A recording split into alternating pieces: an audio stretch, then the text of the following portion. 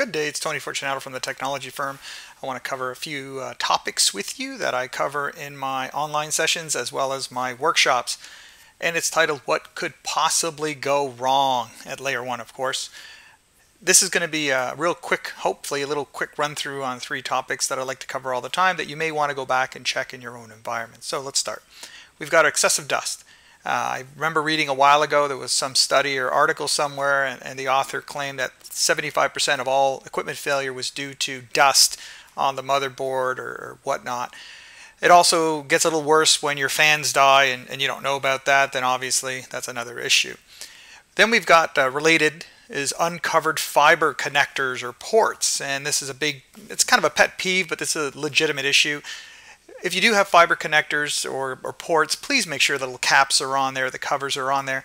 And if they have not been on there for a while, please do not proceed to blow out the port with your mouth. You'll probably be putting all sorts of stuff in there as well. There are proper cleaning kits, there are proper tools that will do this for you. If this is something you should be doing, then please get the right tools and instruction on how to do that. Along the same lines, we've got corroded RJ45 pins.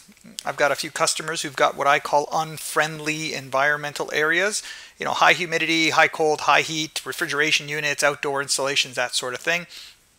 And you can see here, we've got a corroded pin. So obviously that uh, switch was not the proper switch for that environment. There are ruggedized outdoor or ruggedized hardened switches that would handle things like that a lot better.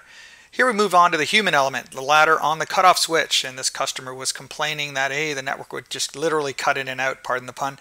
And literally, we walked over one day and we just happened to catch the uh, janitor walking by with a ladder. I noticed later the ladder was leaned up against that little cutoff switch. There was no pin in the lever to prevent it from going down. So it was a perfect storm. There you go. And lastly, we have PoE injectors. As I get involved with these wireless network upgrades, people went from, you know, G to N and now they're considering AC. Sometimes they have external PoE injectors because their switch does not support it or does not support it well enough or whatever. These PoE injectors are um, in the mix, so to speak, and you should check them out. Make sure they're rated for the proper network speed. The switch might be a gig, the AP may support a gig, but guess what? The injector may only be 100 meg. Sometimes the injectors start to flake out. You get all sorts of crazy physical level errors as well, so you should know where those are in your environment. All right, let's move on to the next one cable and layer 1 errors. And these are all various things that can cause layer 1 issues. We've got good old cable pinched in the door. Uh, I was joking with this customer. It was sadly it was the truth. I said, "Oh well, it's just the firewall. It can handle a few physical level errors, can't it?" And sure enough, uh, it was the case. We've got these RJ45 Cat5 female to female. Um, please make sure if you do have these couplers everywhere. And if they were quote unquote temporary, that they really are temporary, somebody goes back and obviously replaces it with a proper length of cable. In many cases, Cat5 couplers may not cause an issue, but as you go up in speed, the issues may start to arise. So look out for that. And this was a, a wireless bridge we had outside of a building for a customer. And we went back to check out why it wasn't working well. And we noticed the customer had a little bit, a little bit of handiwork here. You can see the arc on the bottom of the unit, which is not a good sign. So obviously improper cable repairs is also something else to look out for.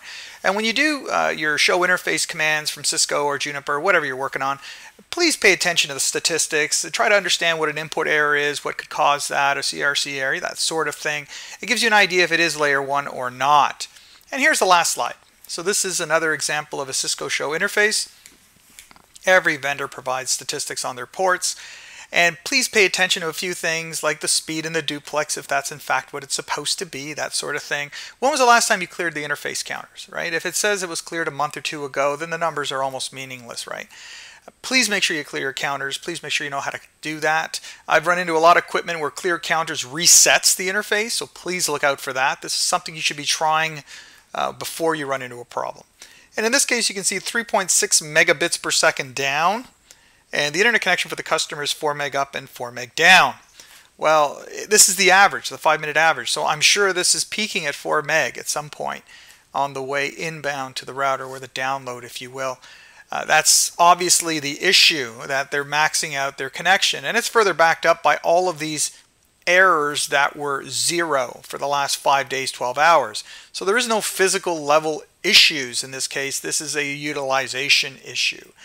There you go. So hopefully that helps you out. You can go back and check this stuff out wherever you happen to work or just keep it in the back of your mind while you troubleshoot. Have a good day. Bye for now.